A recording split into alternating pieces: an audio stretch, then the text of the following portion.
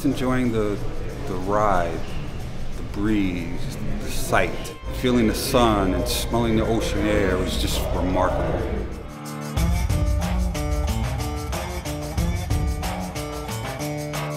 The Rolling Project Odyssey, they're really a good mixture of adventure based activities balanced with learning some mental health coping skills and running through some mental health curriculum, and then helping them build their support network.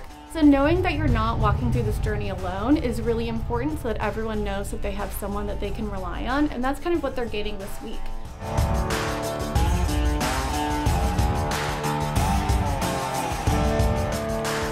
Harley Davidson's support allows us to be here, allows me to be here. Wounded Warrior Project has been a part of my life for the better part of the last 11 years. Without this support, I may not be standing here today, but I am. And I know that I have that backing to kind of keep me going.